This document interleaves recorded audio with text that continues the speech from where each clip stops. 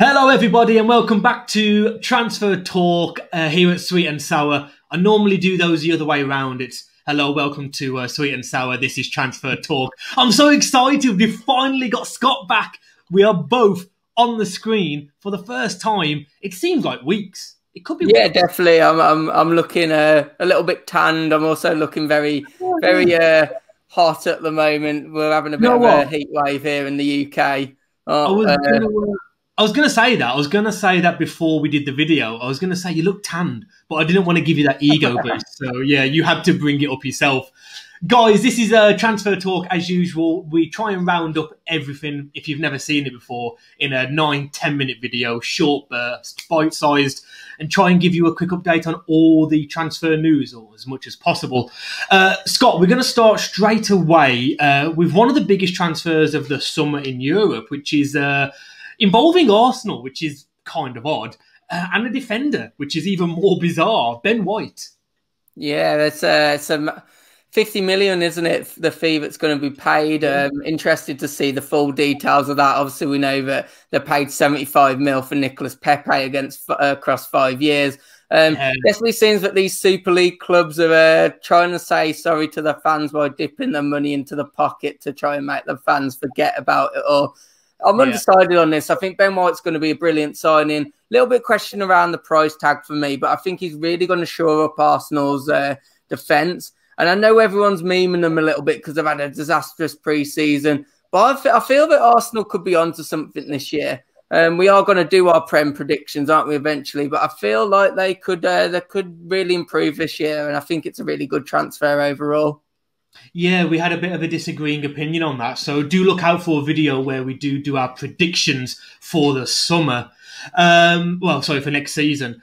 Uh, speaking of next season, it's Barcelona who are looking like they could be in big, big trouble. We all know what's happening over there um, in Barcelona. But they have said that Van der Beek, uh, a player that hasn't featured much for Man U since his big move from Ajax, is back on Barcelona's radar if they can get their finances in order and actually sign players. So I think it's fair for Van der Beek. I think Man, uh, Man U have kind of done him dirty, really.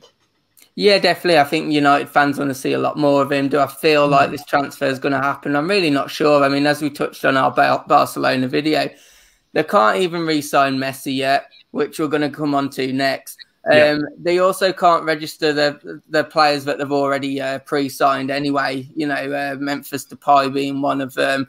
Obviously, Aguero. They're still not able to register them. So just for this Yeah. Van der Beek one's coming across as a bit of a shock. Um, and Yeah. a lot of Barca players don't want to leave either, um, which ties into our next story. Of course, Messi has offered to accept a 50% uh, wage cut. Now, there's two ways of looking at this. One, this guy loves Barcelona, he wants to finish his career here. Or there's the other side of it that Barcelona probably would have offered him a two, three year deal max. They're offering him a five year deal. This just seems like a really smart way of getting round it for me because that means he's going to play till Barcelona up to the age of 39, which, you know, is a bit ridiculous, really. I mean, I'd be surprised if he keeps going that long. I mean, look, he is one of the absolute world best. Let's not forget that. But this feels to me that, like, they may have offered him a two or a three year deal. They've gone, look, we can only pay you half your wage. You'll be looked, you'll look like a complete hero for doing it, and we'll give you five years for that. Messi hasn't even shown signs of, signs of slowing down. He still scored like 42 goals, I think it was this season. Um, he hasn't comes quickly, doesn't it? Another five years up playing Yeah, at 39. he hasn't even dropped into that deeper role yet of like that Xavi position or Pirlo of just a pinging. But I don't know, mate. It's the it's the greatest player of all time. Who knows what he could be doing? Um, so, oh, okay. Are you going to move on? Yeah, let's move. Let's move on to Brighton actually, because obviously Brighton they're going to get the 50 million for Ben White. Um, Looking they're already yeah. looking at spending some of that. Uh, the first one is, of course, Eduardo from Celtic, the young uh, young striker. They're looking at bringing him in potentially. Um, I guess to shore up their strike force. You know, they they probably need some more goals. Yeah. Um, and yeah, the 50 million, it's I think it's a good signing, and you know they're they're gonna uh, they're gonna have a big chance to redesign the squad and really strengthen overall with that big sale of 50 million as well. I completely agree, and it, it, seems like a Brighton transfer talk today. I can't believe i would I'd ever say that. Uh, but as part of that 50 million, again staying at Brighton uh, as a replacement for Ben White, they are looking at a player that I do like the look of, and that's Nat Phillips from Liverpool.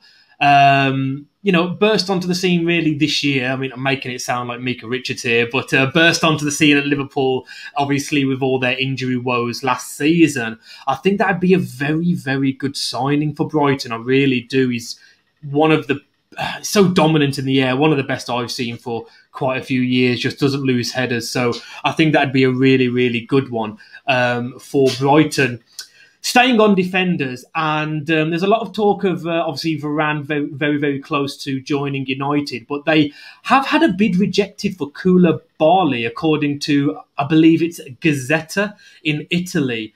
Um, now, what they've said is what Napoli have said that uh, 30 million is not the valuation that they put on the player. Seems a bit odd, though, doesn't it, Scott, to basically having Varane so close and Koulibaly, uh, uh, putting in a bid for Koulibaly, uh, who wouldn't be a, a bench player. Yeah, definitely, and I think especially after the uh, you know the Summer Maguire had as well, I think like there's no yeah. way that he's going to be the one to be dropped. Uh, Varane obviously isn't going to be the one to be dropped.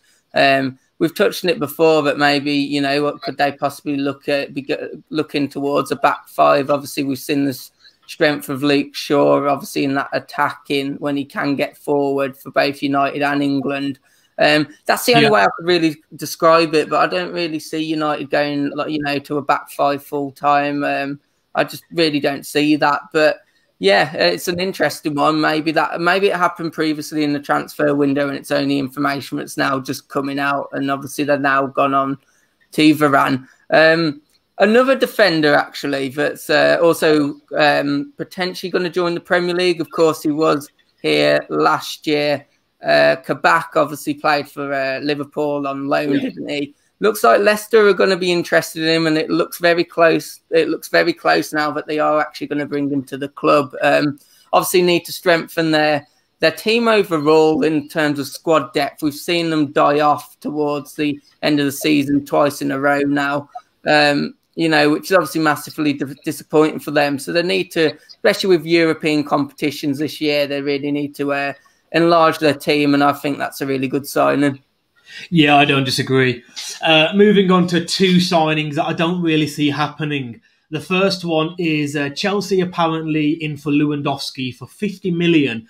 Obviously, they got turned down by Dortmund in regards to Haaland. I just think we're going to see a lot of top players get uh, linked with Chelsea now that they can't get Haaland, uh, Harry Kane, Lukaku, Lewandowski. The bid's apparently 50 million, but I don't see it. One that I don't see either is apparently Rafa Benitez is after Dwight McNeil, of course, uh, Burnley winger. And again, the fee's £25 million. He's not a bad player. And I know football money gets, you know, even more ludicrous as years go on, but it's a lot of money, 25 million. So I don't see really that one happening either. Uh, Scott, yeah, one you. I was going to say that just uh, quickly on both those transfers. Actually, the uh, Haaland one's an interesting one. Of course, Dortmund are saying they're not going to sell him this season, but of course, then his transfer um, buyout clause goes down massively next season. So going to be one to watch. I think maybe they might sell him, maybe if a really high offer does come in. Um, and yeah, the Dwight McNeil one, I think he's a decent player. That sounds a bit of a, a hefty price tag, I guess, in my opinion. Um, let's stay. Let's stay on Chelsea. There's another interesting one that's come about. Hudson Odoi, of course, Bayern Munich were massively interested in him. They tried to prize yeah. him away um, la- last year, a, a, couple of years, uh, the last two years, really. Um, Chelsea are potentially allowing him to go, and they might use him in a swap deal. Yeah, with Coman. Yeah. Um, interesting one. Interesting one of course, you know, he was, I think it was the highest bid last last time, but Bayern went in for him as 40 million. And of course, Odoi ended up signing a new deal with Chelsea, but he's dropped right down in the pecking order. I think his valuation's probably dropped after last season too.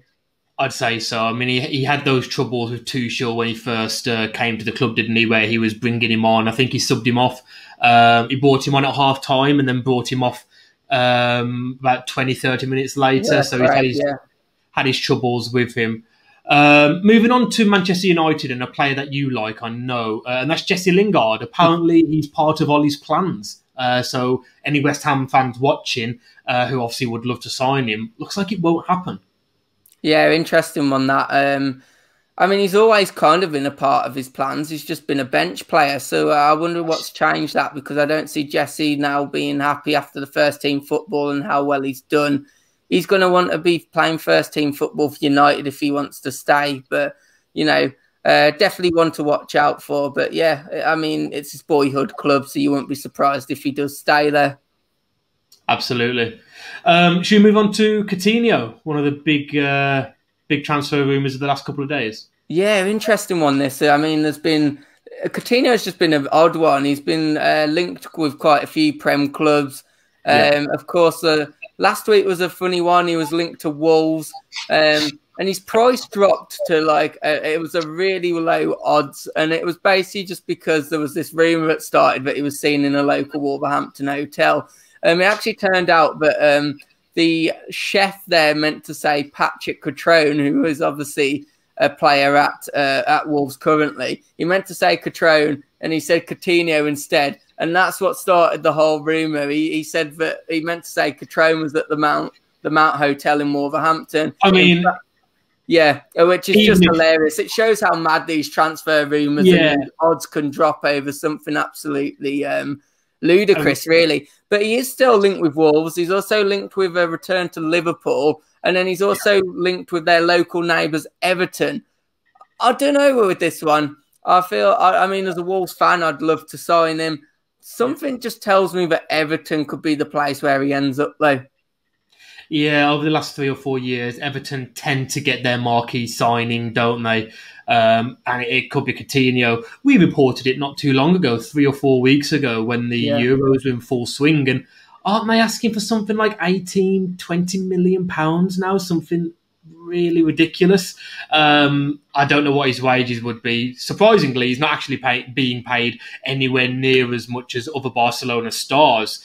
Um, talking about one player that for me is a star, I think this guy is still so underrated, and that's Mahrez. Um, obviously at Manchester City, uh, and Manchester City are set to offer him a new deal. The details of which uh, we haven't been told yet, but he is set to get a new deal. Getting a little bit older now, so I think um, this could be his big, you know, potentially last big contract um, in the Premier League for a top side. But I do like Mahrez. I'm glad. I'm glad he's staying in the Prem. Yeah, definitely, definitely, and he's definitely earned that new contract at City.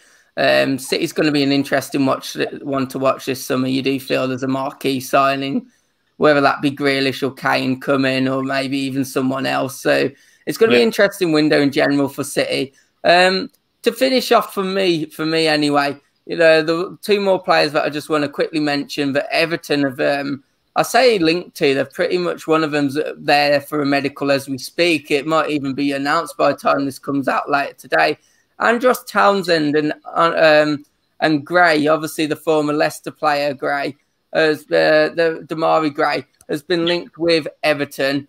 Um, it's an interesting one. I saw a meme literally just before recording this where you know it said something like, um, "Right, we're gonna get uh, we're gonna get um, a wingers from Palace and." Leverkusen, and it's the Everton's fans relaxing, thinking it's Zaha and of course Leon Bailey, and it's like suddenly you just see their face yeah. and it dawns that it's Townsend and of course uh, Demarai Gray, which I found quite funny. But to be honest, I, it's it's not going to excite the Everton fans, is it? But at the end of the day, I think um, squad depth, decent backup. Squad depth. You look at yeah. their bench last season, and you can see why they didn't manage to finish off. You know, some games where there's quite a few frustrating draws these extra players, you know, they could really possibly change that. I'd probably be a little more excited about Andros Townsend and Demarai Gray, to be honest. But that's yeah, the um, the Leicester fans were really good to uh, happy to see the uh, the back end of him, weren't they? Yeah. Um, yeah. When he left the club, uh, I think that's me as well done in terms of transfers. Uh, you haven't got any more. No, no, all undone for me as well. So uh, we'll make these more regular. Yeah, absolutely. Uh, one thing I want to say before I take your legendary outro away is, guys, we are starting a fantasy Premier League uh, league, uh, sweet and sour league, and there's going to be prizes um, for the first, second, and third. I think we're going to do giveaways throughout the season. Look out for that in one of the next videos. We will do a promo on it, let you know the code uh, and everything that you need, and it should be a lot of fun. We want to try and get as many people involved as possible. And the more people that get involved and the more people that sub, the higher the prizes will be. So. Yeah, and there'll also be random prizes as well for uh, you know being in the league. So if you're like one of those people that plays it up till Christmas and then gets a little bit bored of it, well, it's still worth joining the league. We're still going to be handing I out prizes. That. I said we'll do random prizes. I don't understand. Okay. You're just stealing my thunder. You just got to take my limelight away. Let me finish up my outro then. You've not had an you've not had an outro from me in a week. Right, guys. Um, thanks for watching. Please hit that like button. Please subscribe to the channel, and we'll see you on the next one. Where hopefully, when I record it, it will be a touch cooler. I can't believe you did that to me. see you guys.